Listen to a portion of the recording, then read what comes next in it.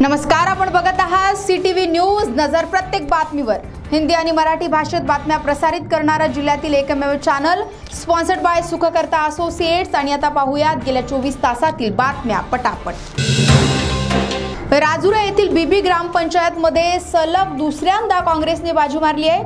बीबी गाव हा शेतकरी संघटनेचे माजी आमदार वामनराव चटप यांचा गाव आहे. परंतु चटप यांना शून्यावर समाधान मानावे लागल्याने शेतकरी संघटनेची फजिती झालेली दिसत आहे. बीबी ग्रामपंचायतमध्ये काँग्रेसचे युवा नेते आशिष देरकर यांच्या नेतृत्वात तब्बल दहा जागांवर विजय मिळवून स्पष्ट बहुमत प्राप्त झाले आहे. धान कापणी झाल्यानंतर भारी बांधायला शीन कापण्यासाठी जंगलात गेलेल्या महिलेवर वाघाने हल्ला केला. सावली तालुक्यातील वेहाड खुर्द नियत क्षेत्र सामदा बुज कक्ष क्रमांक दोनशे एक निलसनी पेडगावमध्ये ही घटना घडली असून आरडाओरडा केल्यामुळे थोडक्यात महिलेचे प्राण वाचले. यात चाळीस वर्ष वंदना मारुती वाकुडकर ही महिला जखमी झाल्याने तिच्यावर सामान्य रुग्णालय गडचिरोली येथे उपचार सुरू आहे.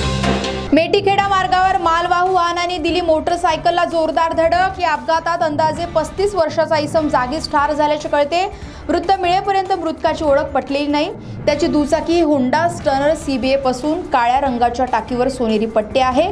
एम एच चौतीस झेड सव्वीस एकोणसाठ असा गाडीचा नंबर आहे.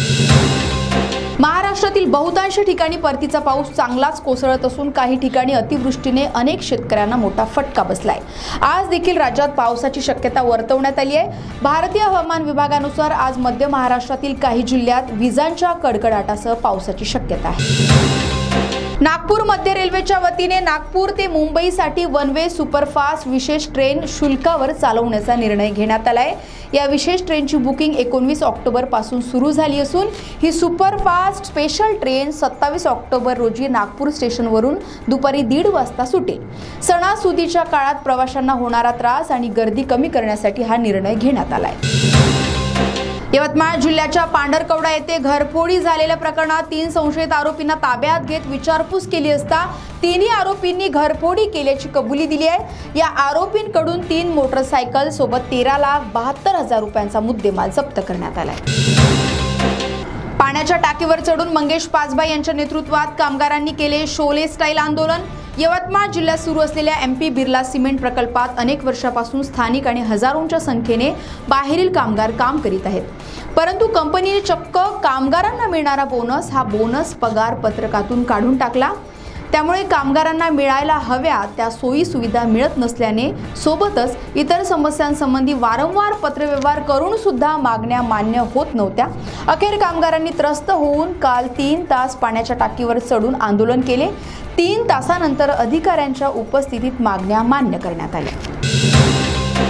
मूल येथील चिचाळा येथे गुरांना चरायला जंगलात गेलेल्या दोन गुराखींवर वाघाने हल्ला करत ठार केल्याची घटना घडली आहे.